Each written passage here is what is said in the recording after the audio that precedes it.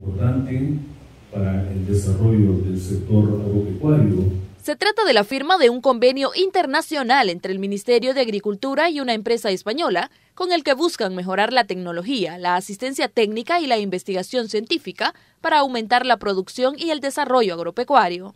los beneficios que vamos a obtener con eso, eh, dentro de, de, todo el plan de rescate, es poder dar una, invertir la balanza comercial de alimentos que tiene ahora mismo El Salvador, eh, aumentar la productividad de todos los cultivos, tanto granos básicos como hortícolas y frutales. El segundo reto que tenemos es hacer la producción de alimentos de, una manera más limpia, sin, sin el uso de sustancias químicas. Este es parte del Plan Maestro Agropecuario que busca que el país se convierta en un referente de la agricultura productiva natural y sostenible en la región. Creo que ustedes están presenciando este momento histórico Esperamos cambiar la realidad de nuestra agricultura con la ayuda no solamente de investigadores de primer nivel, sino que con buenos amigos.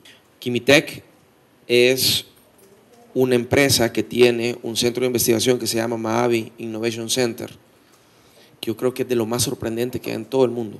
De acuerdo con las autoridades, con el uso de tecnología se pueden crear cultivos de gran intensidad en el país y mejorar este sector. Este es un informe de Rocío Cruz para Noticiero Hechos.